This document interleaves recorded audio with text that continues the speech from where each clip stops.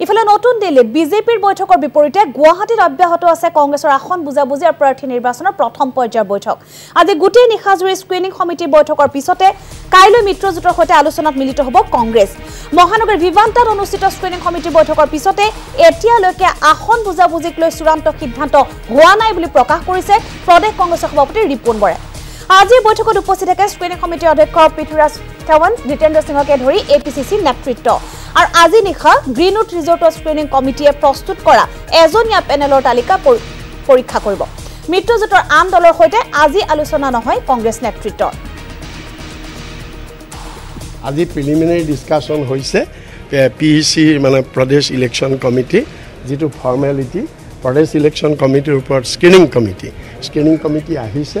আজি আমি যিবিলাক ৰিকমেণ্ড কৰিছোঁ বা লিষ্ট বনাইছোঁ সেইবিলাক স্ক্ৰিনিং কমিটিক জমা দিয়া হৈছে। তেওঁলোকে গোটেই ৰাতি এক্সামিন কৰিব। কালিলৈ block president D C C প্ৰেচিডেণ্টবিলাকক মাতিছে। তেওঁলোককো সুধিব।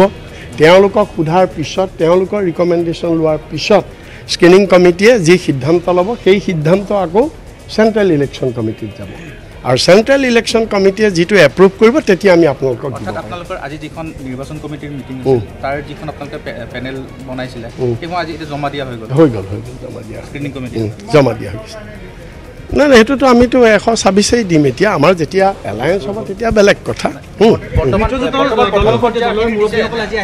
আজি আজি আজি তেনেকুৱা কোনো কথা নাইকিয়া আৰু গম পাব না আপোনালোকে ক'ত গম চব গম পাই যাব আপোনালোকে একো চিন্তা নকৰিব হা? ইফালে চিটিং গেটিং সন্দৰ্ভত তাৎপৰ্যপূৰ্ণ মন্তব্য কৰে দেৱব্ৰত শইকীয়াই।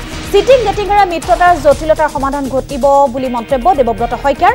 অসম গণ পৰিষদক দিল্লীৰ বহতীয়া বুলি কটাক্ষ কৰে দেৱব্ৰত শইকীয়াই।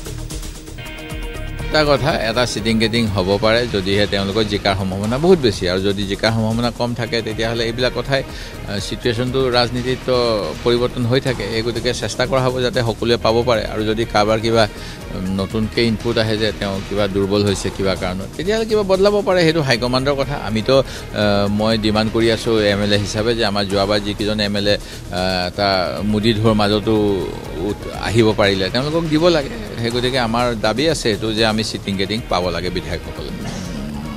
তেখেতসকলেতো আঞ্চলিকতাবাদী দল অসমতেই তেওঁলোকৰ হেডকোৱাৰ্টাৰ সেই গতিকে তেওঁলোকে দিল্লীলৈ যাব লগাটোৱে এটা তেওঁলোকৰ আহ, কা- কথা আৰু কামৰ এটা পাৰ্থক্য।